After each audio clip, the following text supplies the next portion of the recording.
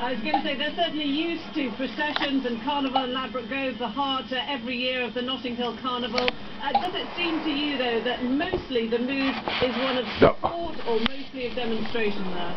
Mostly the mood in Ladbroke Grove at the moment is one of carnival, just alongside me now.